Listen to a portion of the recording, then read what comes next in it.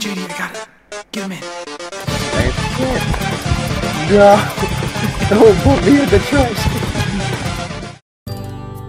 Do you know somebody with autism? Give me break! He want brick. Autism is much, much more common than most people think.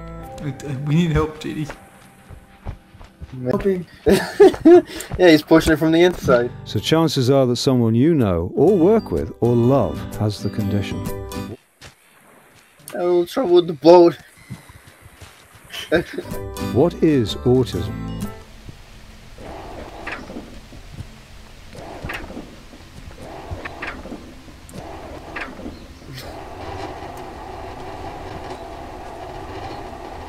Autism is a lifelong developmental disability that affects how we communicate with and relate to others. It's no use, Anakin. I have the high ground.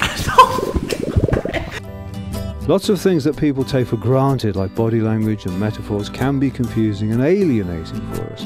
Autism is a spectrum condition, so that whilst we all share certain difficulties, our autism will affect us in different ways. Oh!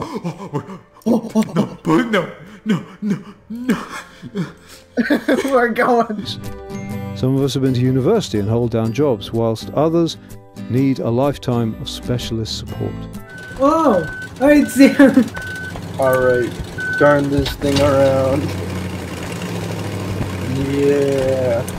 Full speed ahead. What is autism like? Break! We're going on the trip to a place called Auschwitz. It is shower time, little Jew. Stop it.